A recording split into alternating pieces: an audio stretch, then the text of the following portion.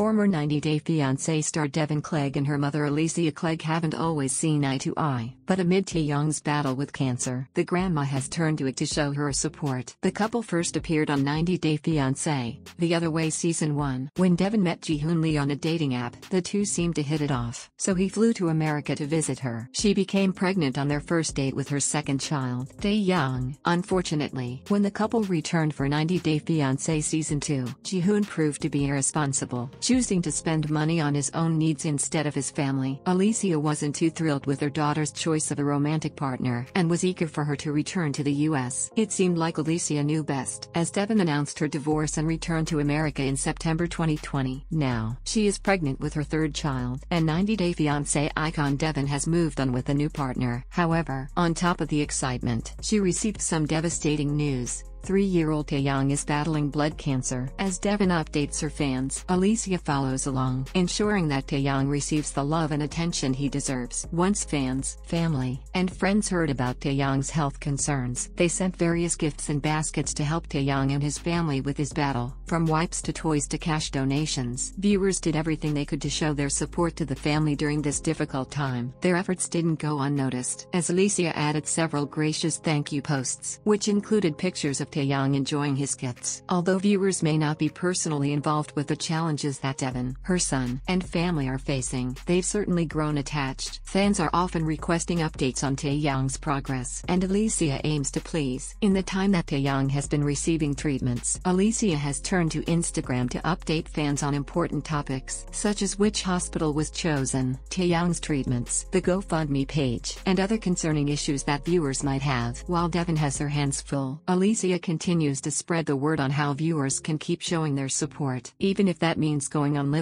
Sometimes there are no updates to share with fans, but followers want pick-me-ups, and Elicia provides them. Over the last month, Elicia has shared a handful of updated photos of 90 Day Fiancé's Deavan's son, Taeyang. She's also included throwbacks from when he was 6 months old, and from earlier this year, as well. She shared a photo of Taeyang and his sister Drascilla playing together. Despite the challenges they're facing, Elicia reminds viewers to find happiness in the darkness. Related, 90 Day Fiancé why Deavan's new baby announcement is being criticized in the end. When families are struggling, that's when it's most important that they stick together and support each other. Luckily, Deavan and Taeyang have an amazing support system, including fans who do their best to help whenever and however they can. Viewers are grateful for Elicia's frequent updates and cute pictures. Fans are eagerly refreshing their feeds for more updates on the former 90 Day Fiancé star. Taeyang